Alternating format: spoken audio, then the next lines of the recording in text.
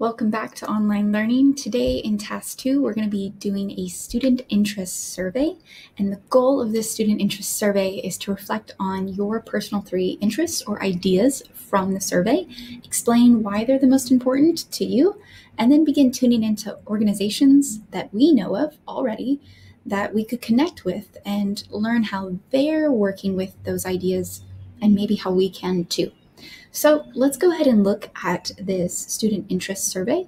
And I'm now going to put it into full screen so that you can see it a little easier. In Seesaw, you're going to have the option to submit a paper copy of this, meaning you can do it on paper and then take a clear picture and then submit it, or there's a digital version waiting for you also. So let's jump into the interest survey.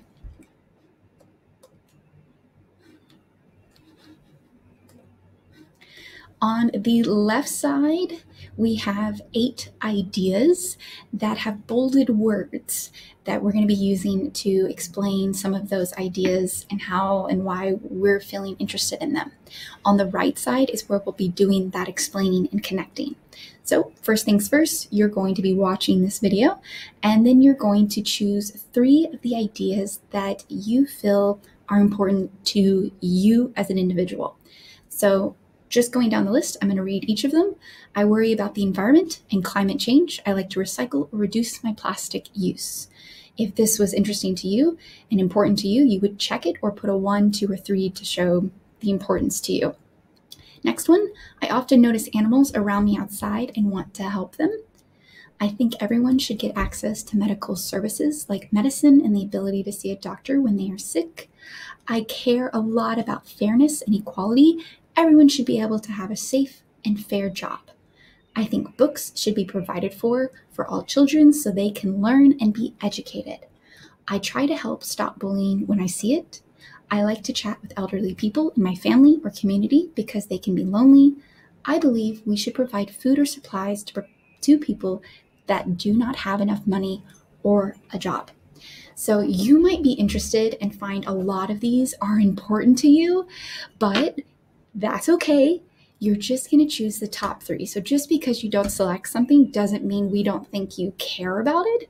It just means it isn't in that top three if you had to choose something right now and narrow it down because we've told you to do so.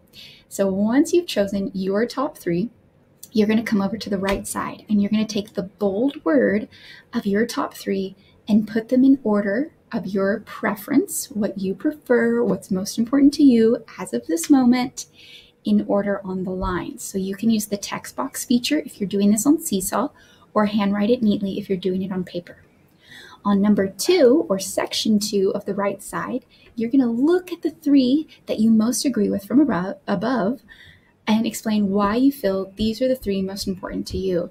You could do this in one complex sentence that shows why and explains why, or you might do this in two or three sentences because you're needing to really answer the question. So please be careful of that so we can see your thinking as to why these are the most important to you. These are going to help your teacher help you connect with an organization. So if you are saying something's important to you, explain why so we can connect you with the correct organization. Lastly, in section three of the right hand side, you're going to be thinking about what, what organizations locally, so at Concordian or Bangkok, or globally, do you know of that already help with these ideas? So you might have heard of some different organizations that work with bullying or elderly or getting food and supplies or education or any of these ideas. You might have heard of some of them and you can list them here or you can think specifically of the three that are most important to you and then list any organizations you might already know of that connect to those. Now, what if you don't know any organizations that connect? It's okay. Try to reflect on that and write a complete sentence just saying, I'm not sure. When I Googled, this is what I found, but I'm still not positive. And that's okay. So, again, you can submit this digitally or in paper form by taking a clear photo and then click the green check to show that you have completed.